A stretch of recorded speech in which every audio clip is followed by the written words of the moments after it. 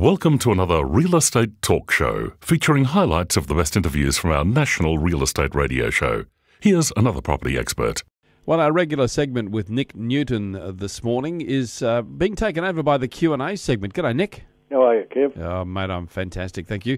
We got two really great questions for you, Nick. We actually uh, um, had a huge number of questions come in from our requests, but we've filtered it down to two.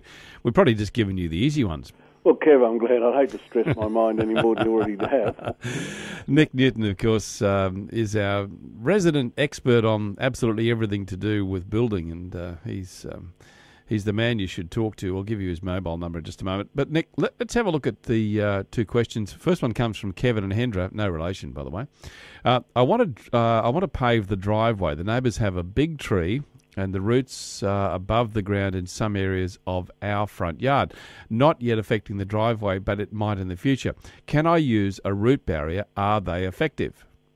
They certainly are, Kev. I've been referring them and recommending them to people for years and years and years. How deep do they go, Nick? Well, I think probably around about a metre, no more, mm. um, and that's usually all they need. But look, what they would need to do is probably get an arborist or something to assess what sort of tree it is, because mm. some trees do have a deeper root system, and uh, it may be that uh, to, to, to, stop it uh, properly, you may need to you know, go a little bit deeper. But I would th- say a metre deep would be heaps. And the root barrier itself is available from what most hardware stores. Oh, look, you'd find it at yes, most hardwares. I'd say certainly at Bunnings on the weekend. Mm. Um, yeah, they'd have the root barrier there. Or if you even go to some of the landscaping mobs, you might get a little oh, bit yeah. more professional um, advice, Kev. And, and uh, Nick, are they fairly easy to install? Just oh, digging a hole? Is that all it is? Look, the, the point is, what you've got to do is dig a trench. So you really need to get a trench digger and dig it so it's only fairly mm. narrow. You don't want any mm. really wide trench or anything. And then just follow the instructions. Now, the root barrier itself is exactly what they say. It's a total barrier. It's a uh, polypropylene or, or uh, you know maybe some sort of patented material, mm. and it just slips down simply into the trench and um, forms a vertical barrier. Mm. Oh, well, and then there's a backfill it, and you can probably use some gravel or something like that to backfill. Yeah. Well, there you go, Kev. Some great advice there from Nick. Uh, Nick, the other email comes from Michelle and Donna Springwood. They're concerned about their deck. The nails are starting to pop up. The deck is only three years old and seems to be quite sound. Is this a concern and should we get it inspected? Well, first of all, it certainly is a concern.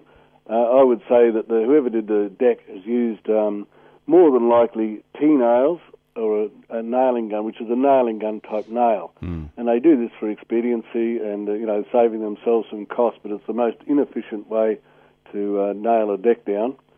They really probably don't need to have anybody look at it. You know, the deck itself is more than likely sound it's just the decking. Now, the only way to really do it is to use.